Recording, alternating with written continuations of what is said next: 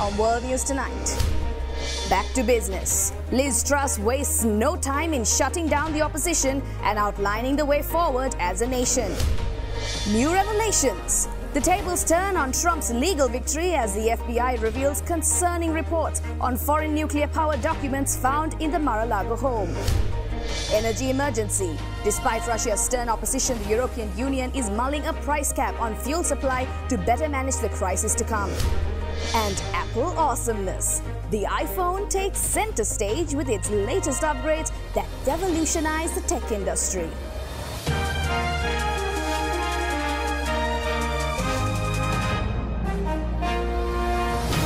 This is Ada Derana World News Tonight. Reporting from Colombo, here is Anuradhi Vikramasinghe. Good evening and thank you for joining us on World News Tonight. At a first parliamentary grilling as British Prime Minister, Liz Truss confirmed plans to stem huge rises in the cost of energy. The appointed cabinet is particularly significant due to the degree of diversity in key roles. Ranil Jayawardena, who is of Sri Lankan origin, was appointed Secretary of State for Environment, Food and Rural Affairs of the United Kingdom. Setting a new tone for Prime Minister's questions at the House of Commons.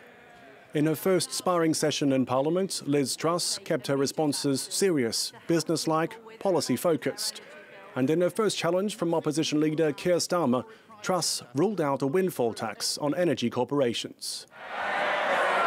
The last time we cut corporation tax, we attracted more revenue. And if taxes are put up and raised to the same level as France, it'll put off. Uh, those companies investing in our economy, and ultimately that will mean fewer jobs, less growth, and less opportunities across our country. Gone were the theatrics of her predecessor, Boris Johnson, as Truss gave direct answers to Starmer's questions, but she did manage a few jokes at the opposition leader's expense. There is nothing new about the Tory fantasy of trickle down economics. There's nothing new about a Tory Prime Minister who, when asked who pays, says it's you, the working people of Britain. Well, there's nothing new about a Labour leader who is calling for more tax rises. Truss vowed to help all Britons with skyrocketing energy bills, but she withheld the details. Her plan to tackle the energy crisis is to be delivered on Thursday.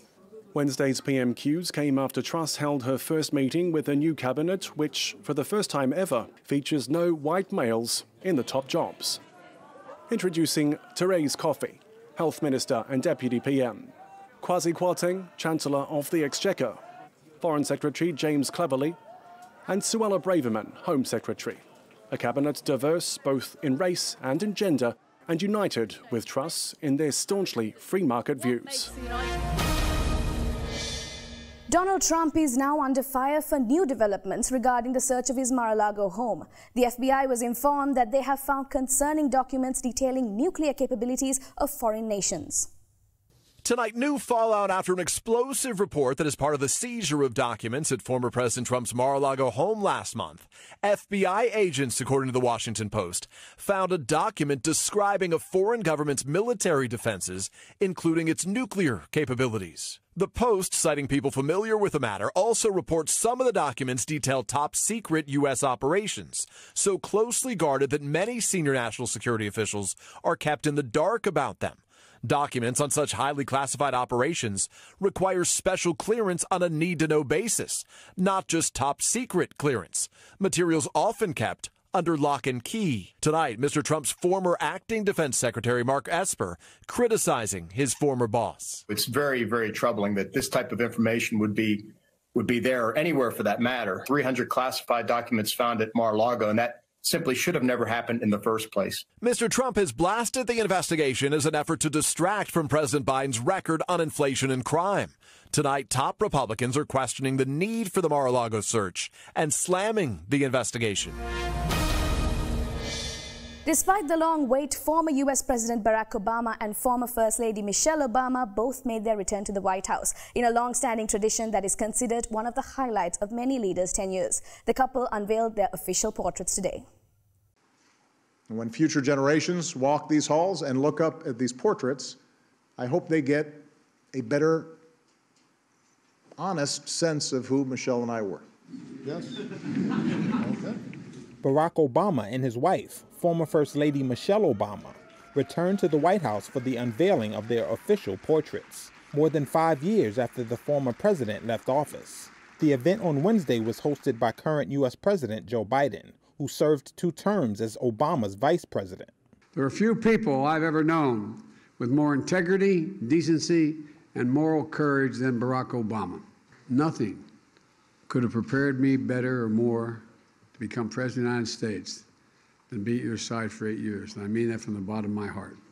Obama, in turn, praised the current commander in chief. Thanks to your decency and thanks to your strength, maybe most of all, thanks to your faith in our democracy and the American people.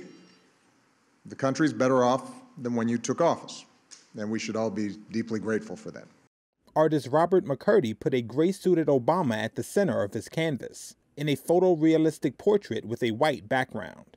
Michelle Obama, in her portrait, is pictured in a blue dress in the White House's Red Room, in a painting by Brooklyn artist Sharon Sprung. The former First Lady reflected on the larger impact the couple's portraits may have. What we are seeing is a reminder that there's a place for everyone in this country. That's why, for me, this day isn't about me or Barack. It's not even about these beautiful paintings. It's about telling that fuller story, a story that includes every single American in every single corner of the country so that our kids and grandkids can see something more for themselves. Usually, a former president returns for the portrait unveiling during his successor's tenure. But Donald Trump's administration did not hold a ceremony for the Obamas. Trump, before winning the 2016 election and succeeding Obama, was a longtime proponent of the birther movement that falsely suggested Obama was not born in the United States and should not be president. Large formal portraits of U.S. presidents and first ladies adorn walls, hallways, and rooms throughout the White House. The final suspect in a stabbing rampage that killed 10 people in and around a Canadian Indigenous reserve has been reported dead after his car was run off the road by police following a three-day manhunt. Three days after one of the deadliest attacks in Canadian history, the multi province manhunt for the last remaining suspect is over. But there was one final twist in the tale. Police arrested Miles Sanderson for Sunday's stabbing attacks that left 10 people dead, only for Sanderson himself to die from self inflicted injuries shortly after. Miles Sanderson had evaded police capture for days, with varying reports of sightings of him across Saskatchewan province. The other suspect in the killings, his brother Damien Sanderson, was found dead on Monday near the stabbing sites. Police are investigating whether Miles was responsible. Sanderson was no stranger to the law. He had been wanted by police for parole violations months ago and had 59 convictions on his record, many of which were violent. According to court reports, he attacked and stabbed one of the victims killed in the weekend's rampage seven years ago. Questions are now being asked as to why he was out on the streets in the first place. The government's public safety minister has said there will be an investigation into the parole board's assessment of Sanderson. For the relatives of those who lost loved ones, it's a dramatic end to days of anguish. President Vladimir Putin attended large-scale military exercises involving China and several Russia-friendly countries as Moscow seeks to strengthen partnerships in Asia in the face of Western sanctions. Russia has found itself increasingly isolated as tensions between Moscow and Western capitals soared since Russia sent troops into pro-Western Ukraine.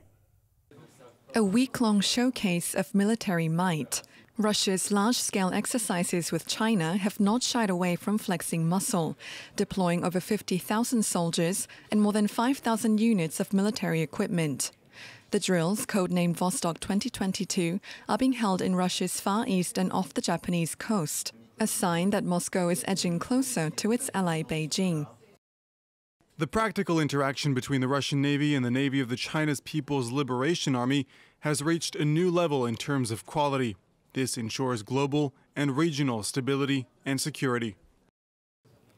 The show of force comes as the Kremlin seeks to bolster ties with China in the face of unprecedented Western sanctions over its invasion of Ukraine. The two countries have drawn closer in recent years, ramping up their so called no limits relationship, acting as a counterweight to the United States. Since Russia's invasion, China has refused to criticize the Kremlin's actions, blaming the US and NATO for provoking Moscow. In turn, Moscow expressed its solidarity with Beijing during a visit of US House Speaker Nancy Pelosi in Taiwan in August. In a continuation of the rapprochement, President Vladimir Putin is expected to meet his Chinese counterpart Xi Jinping at a summit in Uzbekistan next week. Let's go in for a short commercial break. More world news on the other side.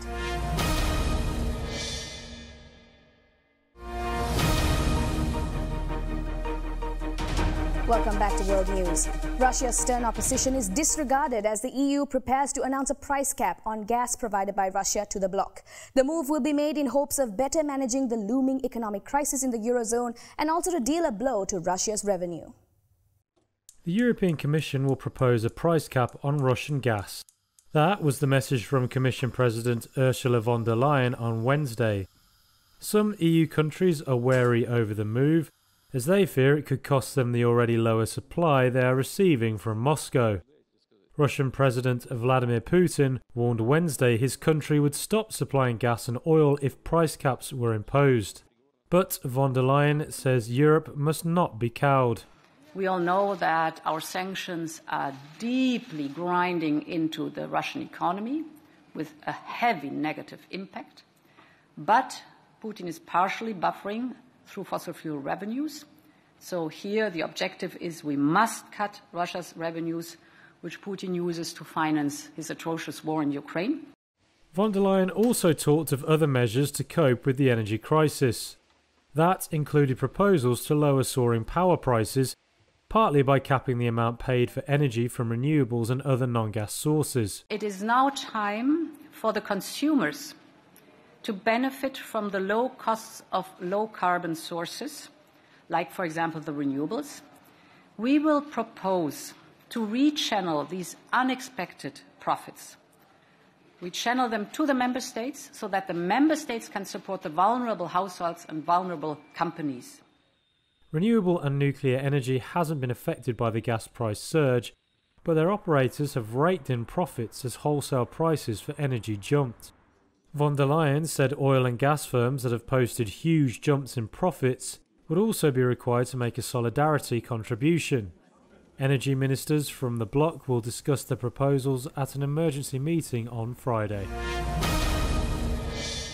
Ukraine is on the agenda along with COVID 19 in Prague, where EU health ministers gathered to plan ahead on controlling the pandemic. The leaders also discussed assistance measures for Ukraine and also on cancer. Ukraine and COVID top the agenda in Prague, where EU health ministers are meeting to discuss priorities for the bloc in the coming months and years. Delegates are trying to agree on how best to provide healthcare for Ukrainian refugees in EU states, and they're also debating the reconstruction of Ukraine's health infrastructure after the war. We will start with Ukraine because we all know we need a global strategy for health and uh, Ukraine should be part of that global uh, strategy because Ukraine is our neighbor and we have to stand with Ukraine. And as Europe braces for the possibility of another COVID wave, plans are in place for the next vaccination programme. We now have uh, the new adapted vaccines available to all member states. Vaccination remains key, and we need to, as quickly as possible, provide the booster doses to those eligible, but also uh, provide primary vaccination for those who are not vaccinated. Also high on the agenda are the latest developments on an EU initiative to fight cancer. The Europe Beating Cancer Plan focuses on prevention, early detection, treatment and quality of life of cancer patients and survivors. President Jair Bolsonaro presided over a military parade marking 200 years since Brazil's independence, kicking off a day of elaborate festivities that critics accuse the far-right leader of hijacking to bolster his re-election campaign. Millions of Brazilians took to the streets to celebrate 200 years of independence from Portugal. And as the military tanks rolled onto the streets for colorful parades, repeated every 7th of September, President Jair Bolsonaro took the opportunity to ask his followers to make a stand in an apparent move to twist the national holiday toward partisan ends. So, the Brazilian people are taken to the streets today to celebrate 200 years of independence and an eternity of freedom. What is at stake is our freedom and our future. Just one month ahead of the presidential elections, Bolsonaro now decided to host his Portuguese counterpart, in a stark contrast to last July, when the European leader visited Brazil and was snubbed by Bolsonaro for meeting with former President Lula da Silva. It went very well in keeping with Brazil's 200 year history. I took the opportunity to tell the story of Dom Pedro, the life of Dom Pedro, and that was a great starting point. We spoke about the 200 years and how Brazil has been asserting itself over these 200 years.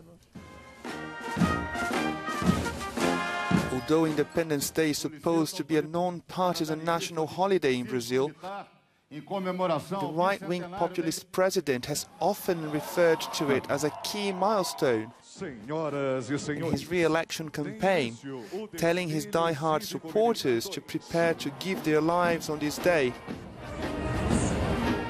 An escalation in rhetoric, even for the outspoken populist leader. While most of the country and its inhabitants are affected by mass flooding in Pakistan, pregnant women are particularly vulnerable as they depart on dangerous journeys to make it to safer areas in order to give birth, risking diseases and physical injuries. Only about 900 of more than 100,000 pregnant women displaced by the ongoing and massive floods across Pakistan's Sindh province have made it to relief camps, according to data from the provincial government released on Tuesday and it's raising fears of births in harrowing conditions. The record monsoon rains and melting glaciers in Pakistan's northern mountains have brought floods that have affected 33 million people and killed more than 1,300, including 458 children. About a third of the country has been hit. The relief effort is a huge burden for an economy already needing help from the International Monetary Fund. This is the Civil Hospital Dadu of Dadu City, which says it has been overwhelmed with more than 72,000 patients in recent days. Pediatrician Dr. Ala Baks Karejo has been among the team treating some 5,000 children with diarrhea.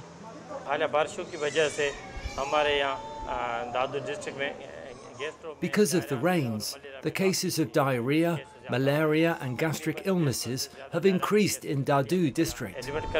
We are admitting around 100 cases of diarrhea and around 5 to 6 cases of malaria every day. The uptick in diarrhea is because of the accumulation of dirty water.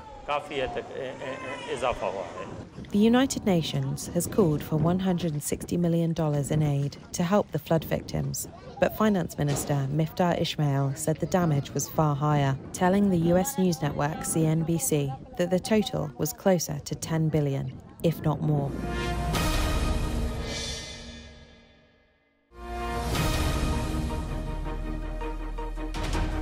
Welcome back. And for more news, let's take you around the world in a minute. A large fire at a karaoke bar has left dozens dead in Vietnam. It was reported that at least 32 were killed and 11 injured in a fire at a three-story building near Ho Chi Minh City. According to a study published by Nature, an ancient human skeleton has revealed the oldest known case of surgical amputation. It follows the discovery of a 31,000-year-old skeleton of a youth on Indonesia's Borneo island. A year after El Salvador adopted Bitcoin as legal tender, the area where the world's first cryptocurrency city was meant to be built, a circular metropolis powered by a volcano, is still a dense jungle. A judge ruled that Elon Musk can use a whistleblower claim in his legal case against Twitter, but the billionaire can't delay a trial over his attempt to terminate his $44 billion deal of the company. The Red Cross said at least 15 people died in western Uganda after their homes were buried in a landslide triggered by torrential rains as emergency workers shoveled through mud in search of survivors.